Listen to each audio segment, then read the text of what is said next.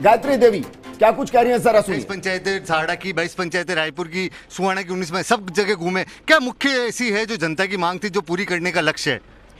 हमारे साहब का सपना अधूरा है जो उनको पूरा करने का लक्ष्य मेरा यही है।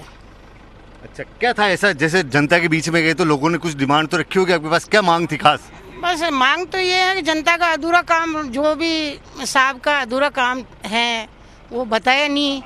जनता ने कहा कि भाई अच्छा मतलब विकास होने का हमारे साहब का सपना था वो पूरा सपना पूरा करेंगे।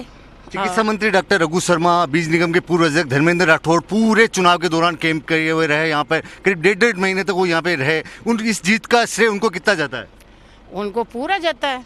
उन्होंने मेहनत करी और पूरा सीएम साहब का और पूरी वहाँ विधानसभा का पूरा ध्यान रख के और मेहनत की और अच्छा काम किया।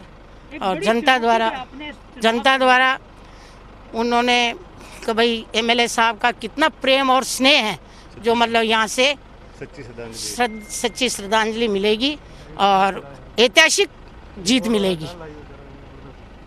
हेलो। ये थी हमारे बीच में साड़ा विधानसभा क्षेत्र से जीती हुई प्रत्याशी, जो विजेता प्रत्याशी है, गायत्री त्रिवेदी, जिनका कहना यह है कि ये जनता की जीत है और जनता की जीत के साथ साथ में जनता अपना जो कैलाश त्रिवेदी, जो लाडला नेता था, उसको जीत के माध्यम से सच्ची श्रद्धांजलि दे रही है। नवीन जोशी, कैमरा पर्सन, तीरथ के साथ, फ़र्स्ट इंडिया न्यूज़, भिलवाड़ा।